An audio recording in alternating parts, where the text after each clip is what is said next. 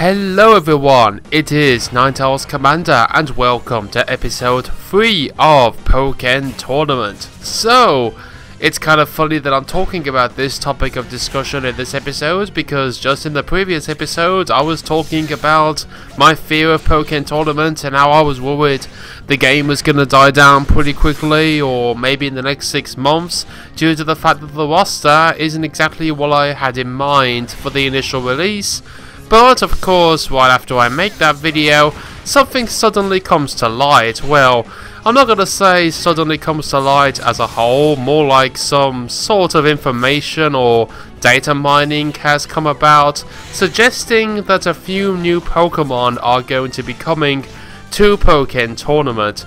Now of course you can find all the information about this on Nintendo Everything, I will provide a link in the description if you want to read about this for yourself, but to be honest, there isn't that much to tell. The short version of the story is a data miner basically went through the files on the recent update that was given to Pokken Tournament, and there were some files that suggested the Pokemon Darkrai, Empoleon, and Scizor was going to be added to the game in some way, shape or form. Now, for me, personally, only one of them really does come as a surprise to me, which is Empoleon. The other two don't really catch me off guard all that much, because, well, I'm going to be honest with you guys. You know what, I'm going to start off by talking about Darkrai, because he's the one I really want to just get out of the way right away. Now, with Darkrai, he was a Pokemon that I actually expected to be added to the game as a support Pokemon. Now why do I say a support Pokemon? Well the reason why I say that is because currently in the game we do have Cresselia and Reshiram as support Pokemon but we do not have Darkrai and we do not have Zekrom which are basically the opposites to Reshiram um, and Cresselia.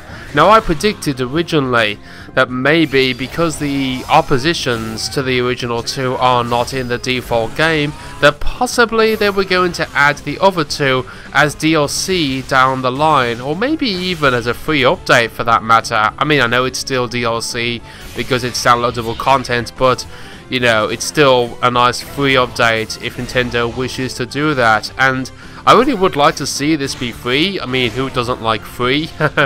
but I'm going to say this, as much as I would absolutely love to see Darkrai be playable, because Darkrai is one of my favourite 4th gen Pokemon, I'm going to lean towards the support side, because while Darkrai would be interesting to have as a, a playable character, and he definitely has got the moves and the basic structure for it, I'm just going to guess that they're going to add him alongside Zekrom as an assist. Now don't get me wrong, I would love to see Darkrai be made playable.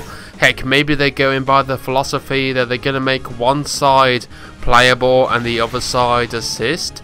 But honestly, the thought of Zekrom being added as playable, I'm going to say it's not impossible, but at the same time, I don't see it happening for some reason, which is why I'm leaning more towards the side of Darkrai essentially being an assist. Even though I would love to be wrong, I would much rather see Darkrai be playable. Now the next Pokemon I want to get out of the way is Scizor, because as I said, Empoleon is the one that catches me off guard the most, but uh, in regards to Scizor, Scizor to me was kind of expected. I mean, he's actually one of the Pokemon I expect to be made playable in some way, shape or form in this game. Because Scizor is arguably one of the most iconic Pokemon in the competitive metagame. It's always been a very good Pokemon ever since 4th generation, primarily in Pokemon Platinum. Scizor has cons consistently been a fan favourite. It's a very good Pokemon to use in competitive play. It's definitely got a great design.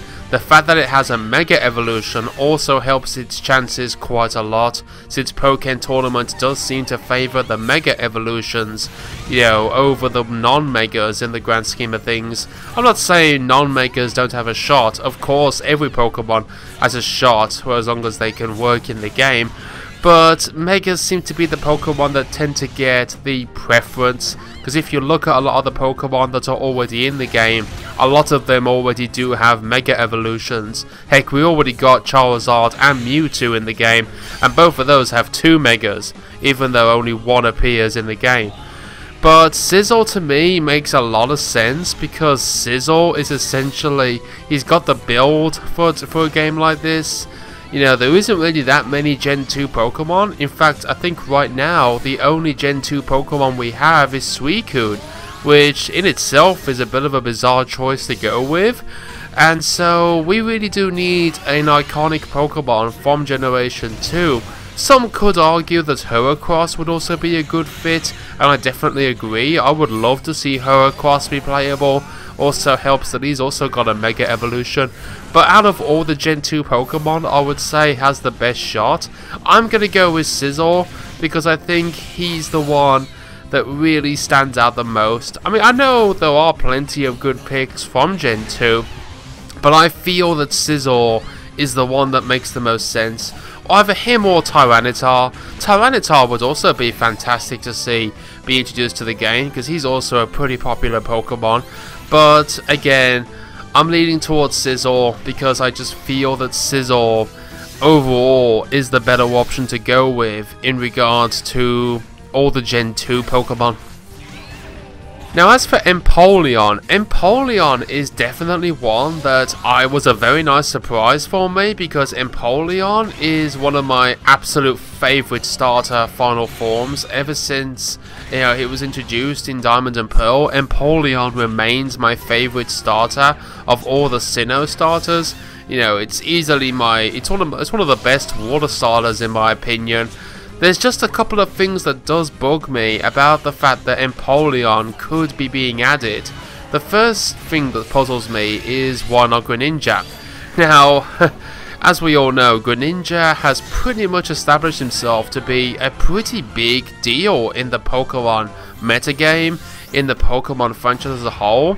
I know they recently had a vote in Japan on the most popular Pokemon and apparently Greninja won it. Yes, even toppling the electric mouse rodent that is Pikachu. This is incredible. I mean, Pikachu is arguably the, well, it is the face of the Pokemon franchise.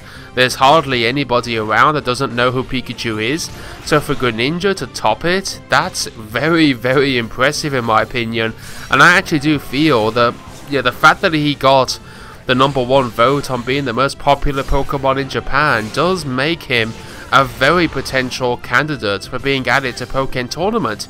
So for Empoleon to suddenly appear as a possibility on the table, this is incredible if you want my opinion, because there's so many other choices they could have gone with, but instead they pick Empoleon.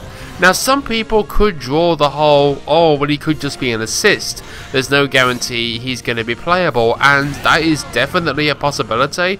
However, there's one reason why I say that's not a possibility, and that's the fact that when you look at a lot of the starter Pokemon, they've always limited the assists to be pre-evolutions or second forms. We've already got Frogadier as an assist in the game, you know, we've also got Fennekin as an assist, I think. Yes, we have an assist in the form of Fennekin.